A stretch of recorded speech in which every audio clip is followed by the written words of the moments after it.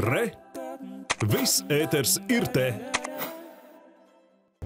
Tik līdz būs piemēroti laikapstākļi, Strenčos psihoneiroloģiskās slimnīcas teritorijā sāksies sporta laukuma būvniecība. Šobrīd slimnīcas pacienti var sportot iekštelpās, taču vasarā iespējas ir ierobežotas. Plānots, ka sporta laukumu varēs izmantot arī pilsētas un novadiedzīvotāji un vairāk vidzemes televīzija. Pirms pieciem gadiem uzbūvējot jaunu psihiatriskās rehabilitācijas ēku, Strenču psihoneiroloģiskā slimnīca ieguva arī nelielu sporta zāli. Vislielākā noslodze tā ir rudenī un ziemā, kur pacientiem ir iespēja spēlēt basketbolu, volejbolu, galda tenisu un piedalīties vingrošanas nodarbībās.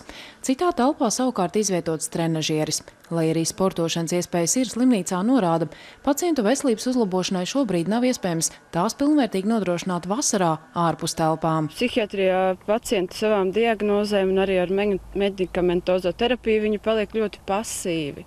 Viņi ieguļās un viņiem ir grūti tikt augšā. Un, un, un tas viņiem, tas sports viņiem dod tādu stimulu, lai viņi varētu atkal kustēties. Strenču slimnīcā šobrīd ārstējas vairāk nekā 300 pacientu, un kuri sirgst jau ar nopietnākām slimībām, slimnīcā nāks pavadīt pat vairākus mēnešus.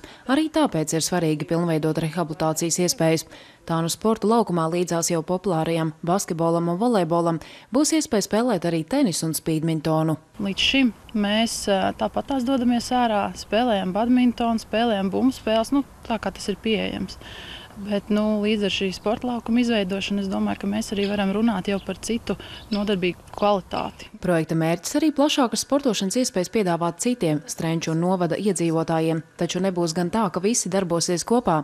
Iedzīvotājiem un pacientiem katram būs savs laiks, kad laukums pieejams. Tas ir domāts kā rehabilitācijas pakalpojums, un kā jebkurš cits no mūsu pakalpojumiem arī tiek ir kaut kāds grafiks, ir kaut kādi laiki. Pacientu gadījumā tā droši vien vairāk būs dienas daļa un tad uh, vakari, pēcpusdienas un brīvdienas tad vairāk iedzīvotājiem. Nodrošinot iespēju regulēt katram sporta veidam uzstādīto elementu augstumu, sporta laukums būs pieejams arī cilvēkiem ar īpašām vajadzībām. Projekta kopējās izmaksas ir vairāk nekā 47 tūkstoši eiro, no kurām lielākā daļa, jeb 90%, būs Eiropas Savienības līdzfinansējums. Elīna Lapiņa Kalvis Krūmiņš, Vidzemes televīzija.